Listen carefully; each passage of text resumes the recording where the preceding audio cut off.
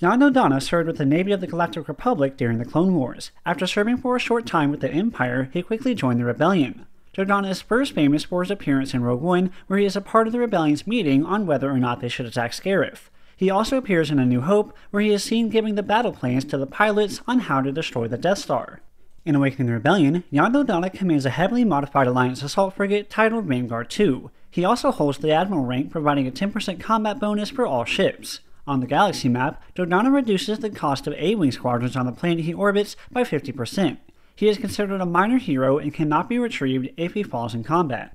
In space battles, Jan Dodonna's AAF is potentially the most heavily modified ship a hero offers over its typical version. His shield and armor strength remain the same, however he replaces four of the typical medium turbo lasers with four medium turbo ion cannons. This greatly shifts the damage he does from heavily favoring hull damage to a good balance between hull damage and now shield damage as well.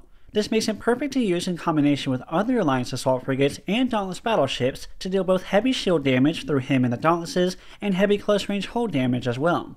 As I said with General Snub, many players tend to gear entire fleets around the AAFs, Dauntlesses, Dreadnoughts, and different fast fighters, committing to the close range, high damage style of combat, all with Dodonna as the lead admiral providing his 10% combat bonus. In addition to the ion weaponry, Dodonna's assault frigate also comes with two A-wing flights with two in reserve.